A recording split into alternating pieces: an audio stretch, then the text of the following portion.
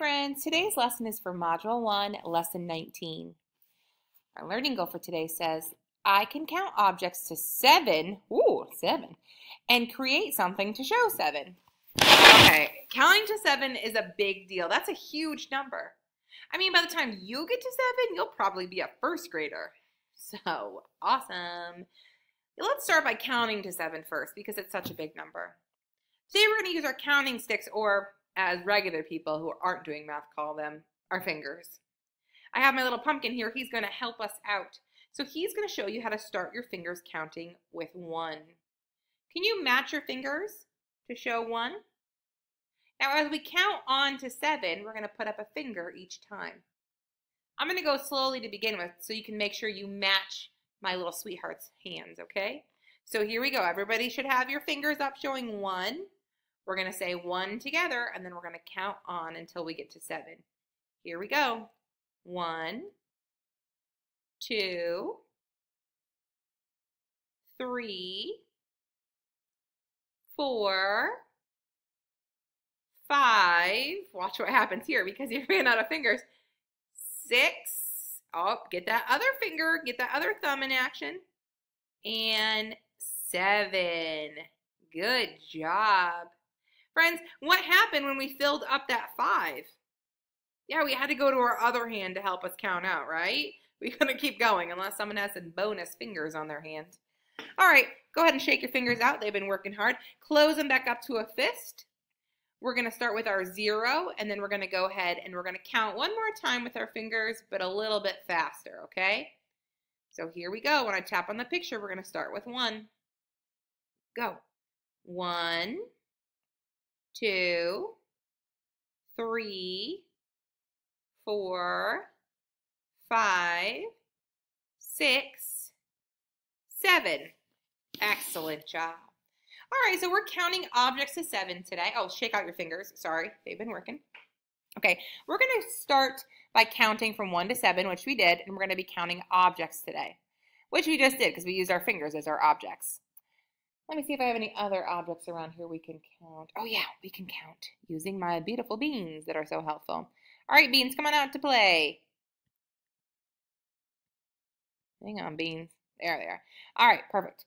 Okay, beans, you know what? I cannot handle the mess that you are in today because I want to count to seven, but I want to do it a little bit more organized than just being zigzaggy dot to dots. So I'm going to go ahead and I'm going to build an array. Okay, so here we go. Now watch what I do because it should remind you of your fingers. Watch how I organize my beans in my array and it's going to match our fingers in some way. You try to figure out what I'm thinking, okay? Here we go.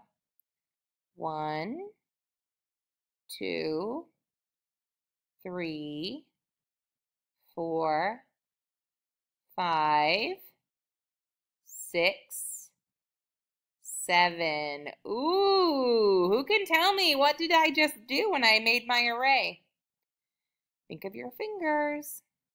Yeah, I made the beans match our fingers. Remember, we had one hand that went all the way to five. And then we needed the other hand to show six and seven. Right? I organized my pictures to match my counting sticks. Five, six, seven. Why do you think I did that, friends? Just because I like our fingers? Oh, it's tricky. I mean, you know me. I love to stay organized, right? Definitely is to stay organized.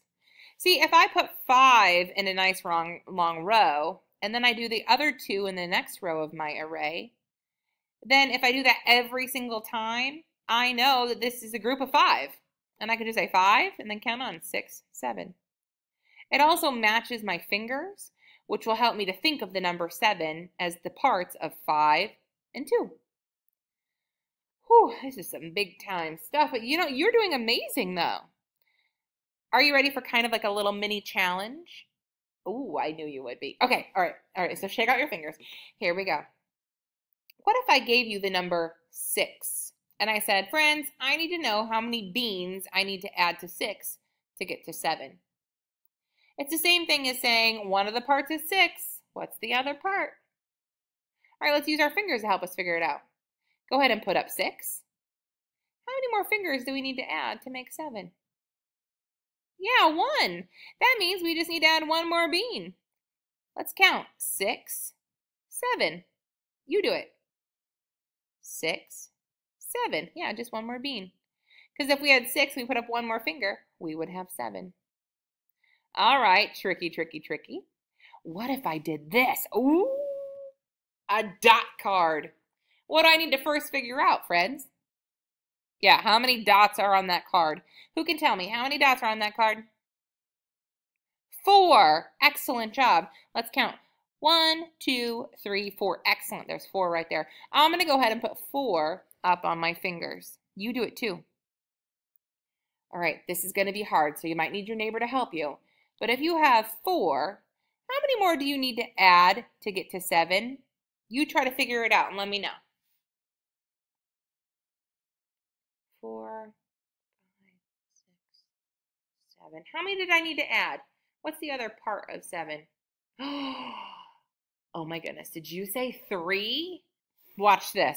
Four, five, six, seven. Three is totally right.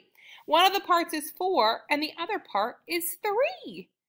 I used the dot card, counting on, and my fingers to help me figure that out. How did you figure it out? What strategy did you use? Oh, yeah, I love that. Ugh, we are so good. I'm so impressed. Okay, one more. I'm not going to even help you out on this one, okay? You're on your own. What if I got out totally different materials? My blocks. What had those good counting cubes? All right, what do you notice about my counting cube, my tower so far? How many uh, cubes are in my tower? You're never going to believe this, friends. You're right, it's five. Okay, we should know from our hands and our pictures how many more counting cubes do I need to add in order to get to seven? If I have five, how many more? Two, yes! Watch this. Five, six, seven.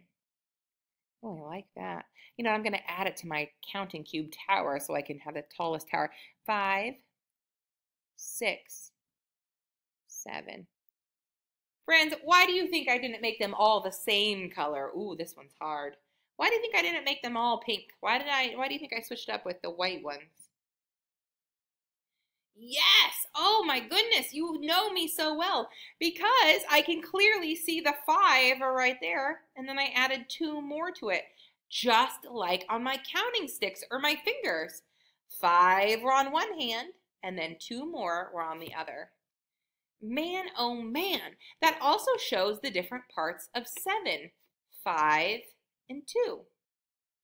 We are just so good at seven. Can I just say, are we sure we're not in first grade yet?